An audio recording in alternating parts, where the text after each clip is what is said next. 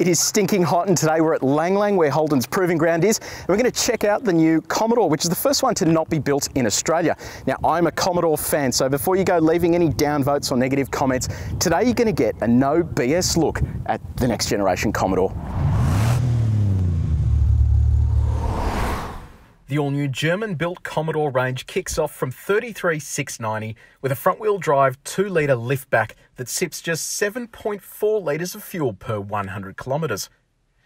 The Commodore wagon starts from 35,890 and is available in petrol and diesel with a higher riding Tourer version featuring Holden's meaty V6 engine and all-wheel drive from 45,990.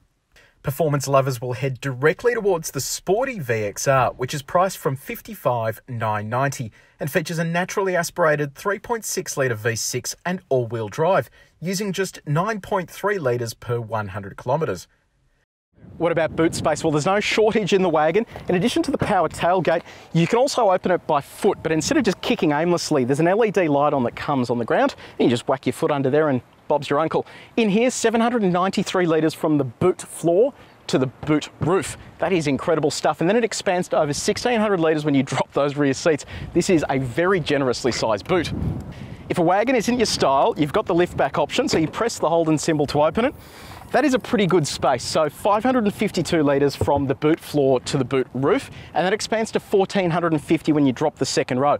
Now it's a versatile space because if you can imagine something big going in here and it was a sedan, you'd struggle to sort of get it in through this lip. Whereas now you've got this giant opening, you just slide stuff in, close the boot, and away you go. Inside the cabin, there's plenty of leg, knee, and headroom, plus creature comforts that include rear air vents and a centre armrest. Some models also feature heating for the second row. It certainly doesn't feel too much smaller than a VF Commodore in here.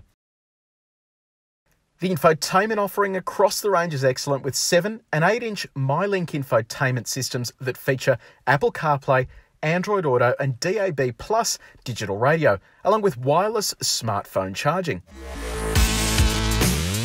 At the entry level, you're going to be driving this engine here. It's the 2 litre 4 cylinder petrol.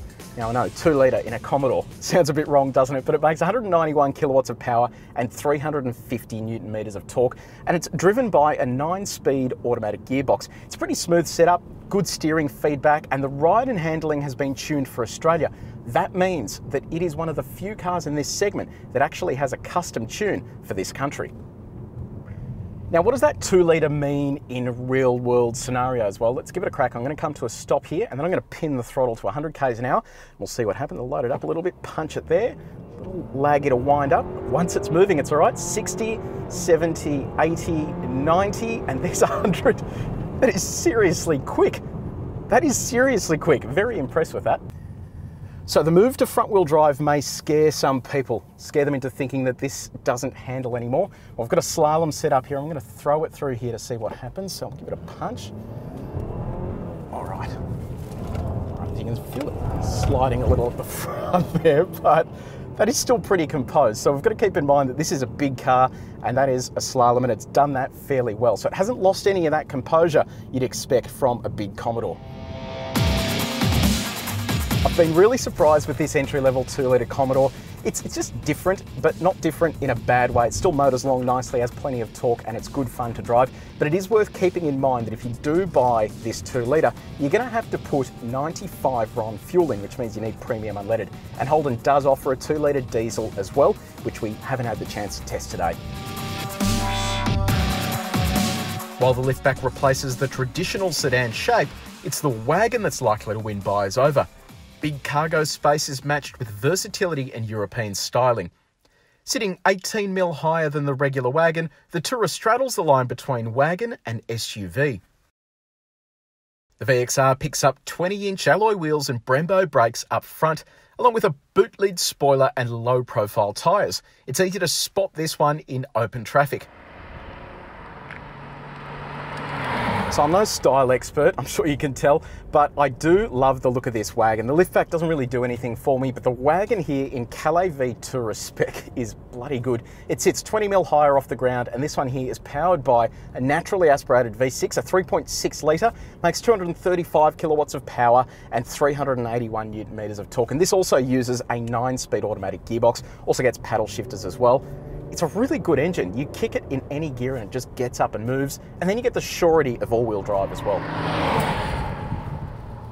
And check out this interior. This is bloody nice. You've got a big panoramic glass roof. In front of me here, I have a Speedo cluster that's digital. I also have a great heads-up display and the 8-inch MyLink infotainment system that has inbuilt nav, all the smartphone features we mentioned. Plus, it also has a good voice recognition system. And on a sweltering hot day like this, we have massage seats and seat cooling. Now, what about towing? Well, you'll be pleased to hear that the wagon and the liftback, if you get it with a V6, will tow 2100 kilos braked. That number will sound familiar because it's what the last Commodore towed, even in V8 trim. If you do step down to the four cylinder petrol or diesel, you'll only do 1800 kilos. So it's pleasing to hear that it'll match the previous gen Commodore for towing, but keep in mind that you don't get that added punch that you would if you had, let's say, an SS Commodore. Okay, picture this, you've got the family in the car, we are heading to our favourite camping site and you get to a 25% grade hill and you accidentally drop half the car into some muddy stuff or some stuff with less traction. Well, you're in trouble if you're in a rear wheel drive car or even a front wheel drive car, but here with the Tourer you get a Twinster all wheel drive system and all we do is hit the throttle and it hooks up nicely. Look at that. If we're in a front wheel drive car or in a rear wheel drive car, we would not be going anywhere.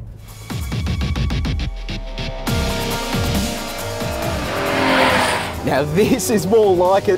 This is the Commodore VXR. It is the sporty model in the Commodore range.